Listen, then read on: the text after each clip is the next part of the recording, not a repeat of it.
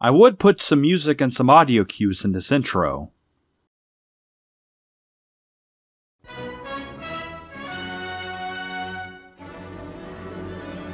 King Kawasabi, you are under arrest for trespassing on the private property and being really poor.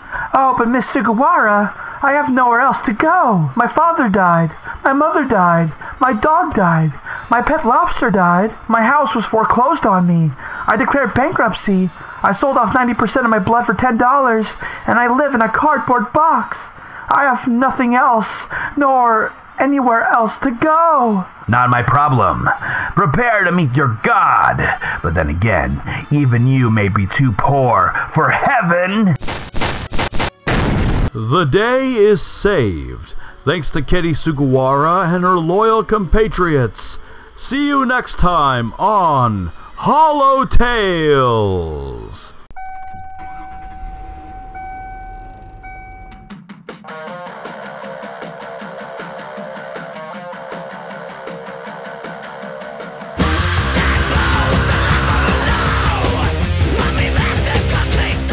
It's curious that a vast majority of stories we consume about music tend to overlook or simply downplay the importance of the music creation process.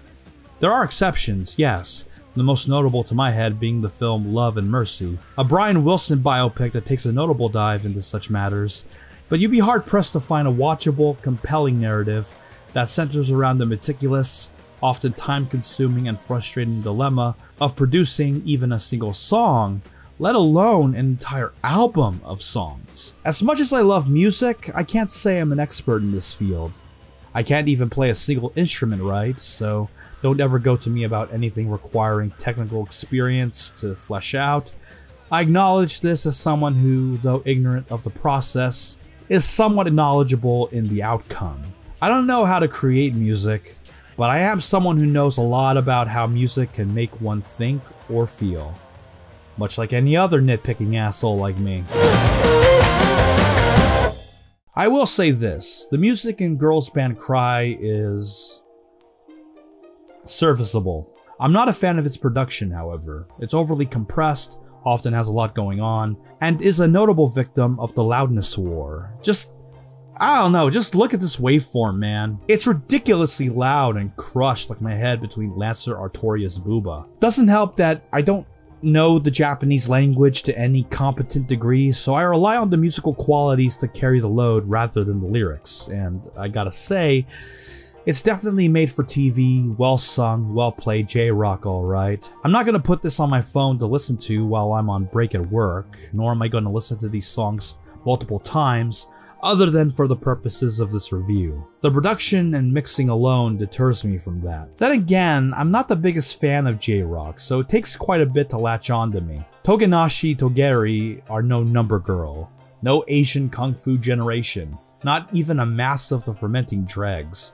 Their music leaves no real impression on me outside of context, and if this were a real band, I'd skip this material without a second thought.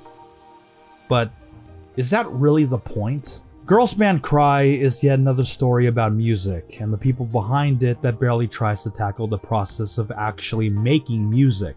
The anime literally brushes past any of that stuff through brief montages, but it's not necessarily its main driving force to begin with. In fact, most stories about a band, real or fictitious, are rarely ever about the music but very much about the people. Nina, Momoka, Subaru, Tomo, and Rupa are the group we spend time with, albeit with Nina as the main heroine in this tale that goes through its highs and lows. Coming to Tokyo after a seemingly cushy life in the country, she comes face to face with destiny as Momoka enters the fray, free spirited and rocking her sick ass guitar, once being a member of Nina's favorite band, Diamond Dust before leaving due to differences in where the band should go, as explored piece by piece in multiple episodes. From there, after hijinks ensue, a friendship is formed, drama turns its head, and the once diminished drive to create comes rushing back. A band is formed as we meet the others, forming what's initially called Shin Kawasaki, before later renaming themselves Togenashi Togeari. It's clear Nina's arc is only but a piece of this cake, for Momoka's desire to outstage Diamond Dust along with Nina, essentially creating her version of that band in the process, to Subaru's motivation to defy her grandmother's wishes for her to be an actress to pursue music as a drummer, to Tomo and Rupa, previously experienced musicians who aimed for the lofty goal of playing at the Budokan, with Rupa being especially interesting considering the show's intent to leave most of the details a mystery. But Nina remains the main star, and though I did find her primary motive to be somewhat deaf, and with even the story finding this to be the case considering her yearning to never back down in her pursuit to beat Diamond Dust at their own game causes problems than it solves, it's everything outside of this aspect that not only manages to feel realistic, but even manages to avoid plenty of pitfalls that would otherwise make her character unlikable to her past. She's stubborn, but idealistic. She believes in her own cause while still acknowledging that it can sometimes get in the way, or when considering her backstory, lead to misfortunate outcomes. Her arc with her parents, shockingly, is not unbearable or one sided for the sake of creating drama. They're human beings, much like her, and I love how that aspect ended with a compromise rather than a fight. It's Nina's folks accepting that while her goals aren't what they want from her, they can't really stop her, nor should they force her to quit being in a band in the first place. It's her life, and they come to terms with that. It's stuff like this, the human element of the show, that I absolutely adored when it has time for it. Momoka opening up to others about her past, Subaru being torn between two potential paths in her life, Tomo's often stone-faced perfectionist personality becoming a strength rather than a fault, and Rupa? Well, the show doesn't necessarily delve too much into her, but it's obvious through some scenes and brief flashbacks that there's sorrow behind her smile and hopeful personality. As I was watching Girls Band Cry, I was very much glued from episode to episode, so much so that I would, in some instances, literally lose sleep I could use for work the next day, if only to watch one more episode. Granted, this is when the show has the time to flesh things out, which, due to the 13 episode limit, with no current plans for a follow up season or any other project in development, is inconsistent. I love the potential of everyone's arcs, though more attention was paid to certain characters than others. Subaru's arc of defying her grandmother is solved off screen without much detail into how it concluded, for example, and I would have liked more from Tomo and Rupa, especially Rupa, but a few instances of superfluous melodrama aside, I have no real complaints about any of our cast necessarily outside of the few that could have had their own episodes dedicated to them if the time was allowed. It feels like we only just scraped half of the barrel with some of them due to Nina being so prominent. Because of that, the plot itself tends to wave off some potentially interesting conflicts. I would have loved an entire subplot dedicated to, say, Rupa, as her half South Asian ancestry is brought up as a sore spot for her and a point of contention in the eyes of xenophobic assholes for not being 100% Japanese.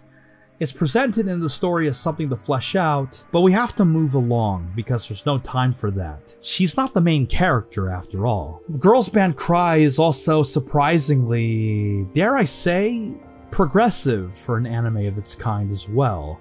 And I don't mean the wah wah pronouns in bio, everything is offensive sort of progressivism either. There's literally the hint of, if not the outright declaration of same sex romantic interest handled in a surprisingly grounded, very adult, and understanding direction that you don't often see in shows like this. Either played for comedy or downright overreactive in lesser anime, and I very much prefer things be handled this way. The show is also a visual marvel in the anime sphere. From Land of the Lustrous to Beastars to now this. We've come so far from the shitty CG dragon from Fate 2006. I knew going in that Girls Band Cry was primarily a CGI show with a hybrid use of 2D imagery for background or unimportant elements like extras, items, etc. And I am st still blown away by how good this show looks. Everyone is so fluid and expressive to a point that I can barely imagine this being 2D while still capturing a traditional anime style. The concert scenes in particular, when they do happen anyhow, are immaculately crafted, well directed with excellent lighting, virtual cinematography, expressiveness, and life, as you'd obviously expect from a real concert, with crowds actively cheering and moving along to the music, recording on their phones and reacting in a way that, if it were 2D, would be a nightmare to capture in the same exact way. Primarily CG anime, visually anyway, has gotten really good over the years, excluding the abortion that was Ex-Arm, of course, and Girls Band Cry is just the latest herald of this movement of using the technology to go places that would be either too difficult or time consuming for traditional hand drawn 2D animation. It's eye candy, but it's definitely eye candy with a purpose because, yeah, while the music isn't my cup of tea, the purpose behind the music, the role the music plays in the grander picture of the girls' band Cry, cannot be ignored. Yes, Togenashi Togeari would fail as a real life band. They are no queens of the Stone Age. Yes, this is generic J-pop through and through, made for an anime that you may or may not like, with production and mixing that I don't particularly like as an audiophile. No, I can't let you listen to said music in this video. I'll get copyright claimed or worse by Universal Music Japan. I don't want that. But one has to look past the objective realities to instead think about the subjective purpose. What is the purpose of the music? What does it serve to the broader picture of the narrative that it's attached to? What is Togenashi Togeari to this plot? What is Diamond Dust's purpose to this plot? It's then, and only then, in my perspective anyway, the music finally works. Not as the highlight, but as the connective tissue that ties Girls Band Cry together as each character, through their flaws and troubles, find their reason to make music. To be a band. To be Togenashi Togeari. I absolutely enjoyed Girls Band Cry when taken as a whole. There may not ever be a follow up, but if there is, I'll be there to watch it, to listen to it, so long as the purpose behind it all remains just as convincing as it was here. You know, these past several reviews I've made, including the non anime ones, the last time I felt truly miserable watching something was Blackrock Shooter Dawnfall. It's been a while since I've subjected myself to something bad. It's mostly been good, or at least okay, these past few years. It's good to watch things that make you glad, but talking about things that make you glad doesn't necessarily make for something entertaining or the like. Tell you what, I propose to you, the viewer, that I will, one of these days, break the streak of reviewing things neutrally or positively, and finally go review something truly, truly shitty. And I think I know what it might be. Like, comment, and subscribe. Oh, god damn it. What? I don't like it. Don't like what? The whole like, comment, and subscribe thing. Feels like I'm, I don't know, kicking a puppy or something. Nonsense! Don't you want to grow your platform? I guess, but good. Now say like, comment, and subscribe. You f- this off!